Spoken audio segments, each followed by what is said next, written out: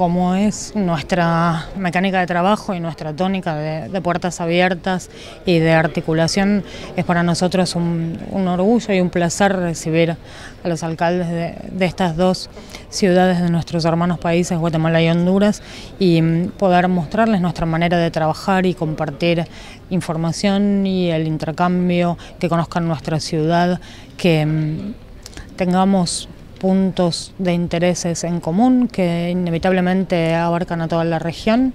Y en ese sentido contentos de, poder compartir esta mañana con ellos. Hemos hablado del sistema de emergencia social que mantiene el municipio de Tigre en vigencia durante las noches, cómo trabaja este municipio en conjunto con eh, los diferentes estamentos digamos, de la provincia, el sistema judicial, cómo protegemos a las víctimas, en fin, digamos, le hemos entregado también material para que ellos lo puedan llevarse a sus alcaldes. Nosotros sabíamos que Tigre tenían un plan muy, muy avanzado en seguridad ciudadana y en prevención a la violencia doméstica. Lo que hicimos nada más es ser el vehículo para que ellos pudieran ver, tener una charla con la Secretaría de Seguridad Ciudadana, ver el Centro de Operaciones Tigre y ver cuáles han sido todos los avances que han hecho sobre ese tema. El tema de la rotación del personal cada 40 minutos, temas de los botones de pánico, los botones de pánico para la mujer, para los ciudadanos, para el bombero. Y muy valioso el tema de los móviles, de todos, que se puede replicar a, sus condiciones. ¿no? Iniciaron de una forma similar a lo que estamos viviendo en Guatemala.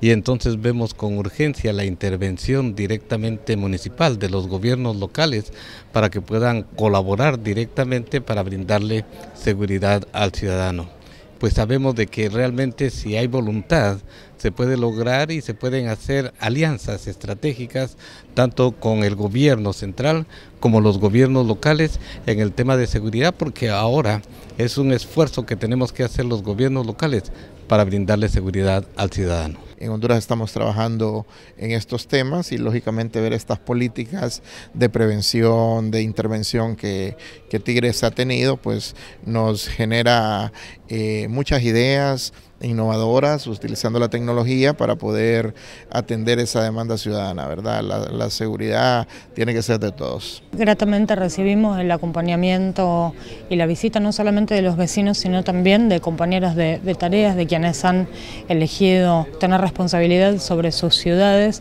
y mm, creemos que compartir e intercambiar enriquece y es el mejor camino.